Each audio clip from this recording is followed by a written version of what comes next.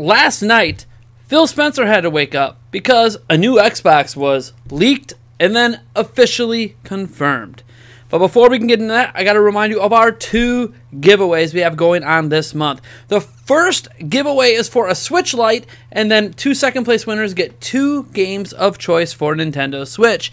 Now, to win, or to enter, I should say, all you need to do is go down to the description. There's a whole list of things you can do to enter from subscribing to the channel, following on Twitter, following Discord, liking the video, commenting, all that jazz. Uh, also, if you join our Patreon at patreon.com slash Nintendo Prime for as little as $1, you get 15 entries into this giveaway, also into our other giveaway we have going on, and into every giveaway moving forward. Uh, the second giveaway is for three copies of Super Mario 3D All Stars. There's a gleam.io link down in the description to enter for that.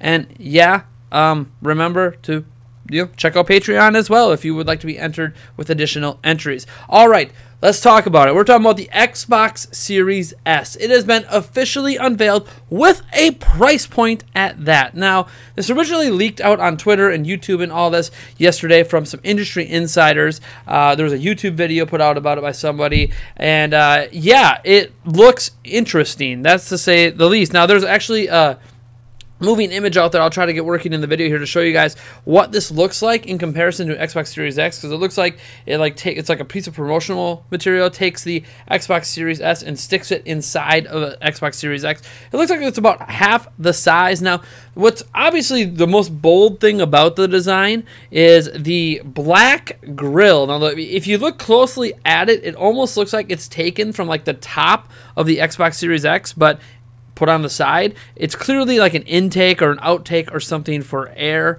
Uh, yeah, it's it's pretty crazy and interesting they did this. My first reaction when I saw it was, why is Microsoft releasing a portable speaker? because that's what it kind of looks like. It kind of looks like a speaker, doesn't it? Like a giant speaker grill, and the rest of it's you know all the audio equipment to go along with it, the Bluetooth and all that jazz. That's what it looked like to me, but uh, that's not what it is. This is the Xbox Series S, and the price point is at two ninety nine, and this has led to a ton of speculation about what the price point is going to be for the Xbox Series X because this is the cheaper system, right? It's being advertised as the cheaper system. You know, Xbox confirmed this is real, this is legit. It's two ninety nine.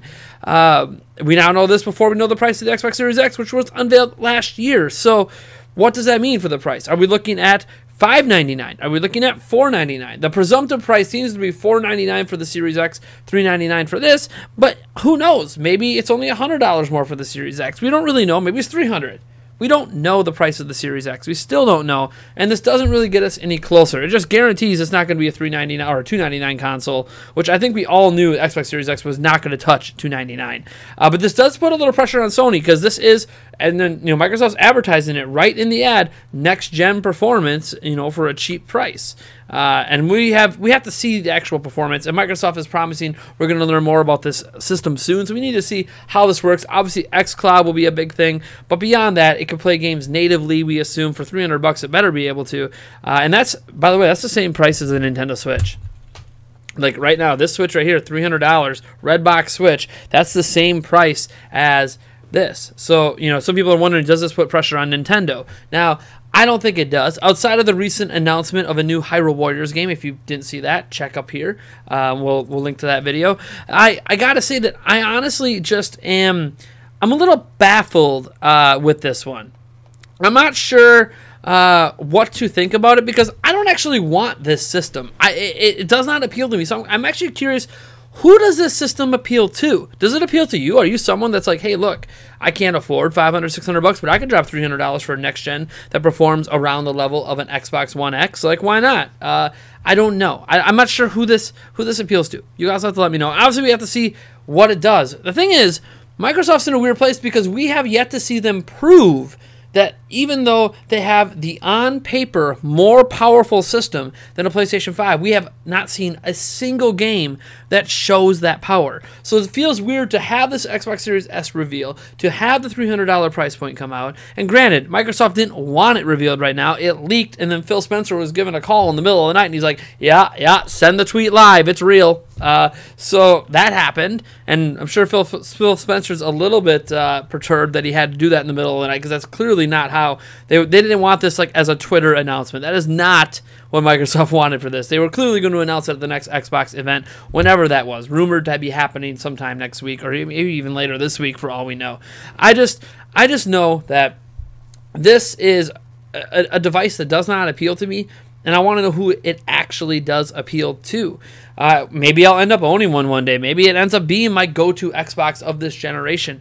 Uh, clearly, it's meant for 1080p TVs. You're not looking at 4K. I think we've always known that. Uh, and whereas the obviously the Xbox Series X is targeting 4K 60 FPS on TVs, this is targeting 1080p 60. Uh, so I don't know. I mean, it's at the the it, it's it's rumored to be four teraflops. We'll we'll see if the rumors are true. But I'm just you know I'm kind of at a loss for words because I don't know what this system is for, who it's for. I'm not. I'm not too keen on the speaker design. Um, but you know what? Maybe you're the kind of consumer it is for. Uh, heck, maybe pre-orders are even up for this thing already. Since we now have a price, I'll have to double check. If there are pre-orders up, I'll put a link down in the description if there is, or at least put a link down to the Amazon page. Uh, but yeah, I just I'm, I'm, I'm kind of lost. Um, we knew this was coming. That's the thing. Like we already knew the Xbox Series S was one of the worst kept secrets. Kind of like Super Mario 3D All Stars. Kind of the worst kept secrets in the industry this year. But I'm kind of left underwhelmed because I just it, it it's exactly what they told us it would be, or what all the rumors said it would be, and I wasn't excited about those rumors. So I don't know. I'm Series X all the way, um, but it might be easier to get your hands on this this holiday. Also, uh, a big thing to come out with this news is that uh, it's going to be part of Xbox All Access. For those who don't know what Xbox All Access is, it's like a uh, kind of a payment plan program uh, that they have to to get these systems. Uh, Thirty-five dollars a month for the Xbox Series X is the rumored price. Twenty-five dollars a month for the Series S, and I think you're locked in for like a year on that price. I, I have to double check. Now that price does include uh, Xbox Live. It also includes um, Xbox Game Pass as well, uh, so that's included in that price. So even though you end up paying more for the system, uh, you you also get the additional value of those other things. So it ends up ends up equaling just a little bit extra profit for Microsoft versus normal. It's a financing option, and apparently Microsoft is going to be pushing it super hardcore at retailers to be like, hey, finance this system through whatever. Uh, I don't think my credit rating, unfortunately, is going to be able to finance anything, but that's okay. I'd rather pay it all off at once, anyways, and own the system. You do get you get a chance to own the system at the end of the at the end of that period too, or you could trade it in. Uh, one thing they're doing right now with Xbox One X's and Xbox uh, Ones that that people did the financing on is you could trade them in towards um, getting the next box. So uh, that's something kind of cool. It's something different, you know, just like Game Pass. Microsoft's just doing things differently to make things more affordable for everyone. So they're adopting the phone model to make it more affordable. Uh, so yeah, that's kind of a thing that, that came out today too. Even though we've known they were going to do this for a while, we now have some idea on the pricing for it. Anyways, that's all I got for you guys. I'll be sure to uh, check out my video from earlier today. Uh, enter those giveaways, and gosh darn it, I, I still have like three other videos that I might pump out today. It's, dude, we have a busy, busy day today. Thank you guys for tuning in, and I'll catch you in the next video.